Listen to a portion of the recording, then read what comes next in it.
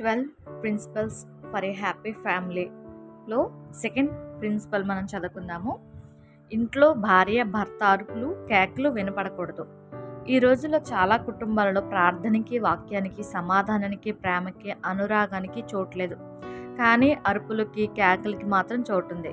ప్రతిరోజు ఇంట్లో భర్త లేక భార్య అరుపులు కేకలు వేస్తుంటే అవి చుట్టుప్రక్కల వరకు వినిపిస్తుంటాయి ఆత్మీయులమైన చెప్పుకునే కుటుంబాలను కూడా ఇలాంటి పరిస్థితి ఉండడం బాధాకరం.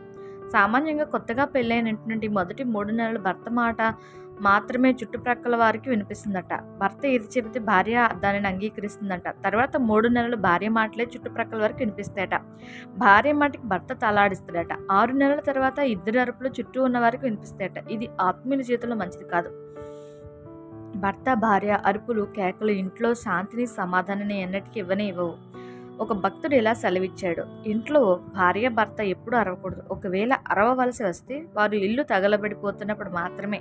ఇంటి నుండి బయటికి రమ్మని చెప్పడానికి అరవాలి తప్ప మరి ఏ సందర్భంలో కూడా భర్త భార్య పైన అలాగే భార్య తన భర్త పైన అరవడం మంచిది కాదు. ఇదిగో నేను ఆదుకుని నా సేవకుడు నేను ఏర్పరచుకునేవాడు నా ప్రాణమునకు ప్రియుడు. అతని ఎందు నా ఆత్మ నుంచి నన.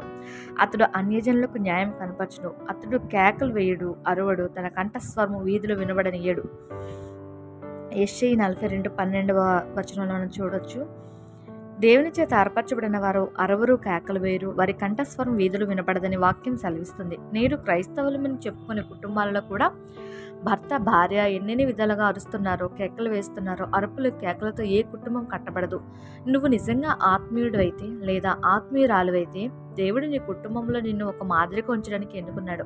అని విశ్వసించే వ్యక్తివైతే నువ్వు అరవడానికి కేకలు వేయడానికి వీలు లేదు. పదిహేడవ శతాబ్దంలో ఇంగ్లాండ్ దేశాన్ని గొప్ప ఉద్యమంతో నింపిన జాన్ వెస్లీ గారి కుటుంబంలో ఒక చక్కని ఏమి ఉండేది. పది మంది పిల్లలను పెంచే క్రమంలో తన కుటుంబంలో ఏ సందర్భంలోనైనా ఏ ఒక్కరి స్వరం బయటకు వినిపించకూడదని తన తల్లి అయిన సుసన్న వెస్లీ ఒక నియమాన్ని కలిగి ఉండేవారు. తన పిల్లలతో పాటు ఇంట్లోనే ఉన్నను. చాలా సందర్భాల్లో చుట్టుప్రక్కల వాళ్ళకి బహుశా సుసన్న వెస్లీ తన పిల్లలు తీసుకుని ఊరికి వెళ్ళిందేమో అన్న సందేహం వచ్చేటట కారణం ఆ ఇంట్లో ఒక్కరు కూడా గట్టిగా అరవడం కానీ కేకలు వేయడం కానీ గొడవ పడడం కానీ కొట్టుకోవడం కానీ వస్తువులు క్రింద పారేయడం కానీ జరిగేది కాదు. చిన్నప్పటి నుంచి సుసన్న వెస్లీ మృదువుగా మాట్లాడుతూ తన బిడ్డలు కూడా అలాగే మాట్లాడే విధంగా నేర్పించింది. ఇంట్లో ఎవరికి ఏ అవసరం ఉన్నా తల్లి దగ్గరికి వచ్చి మెల్లని స్వరంతోనే అడిగే విధంగా ఆ తల్లి తన బిడ్డలను పెంచింది.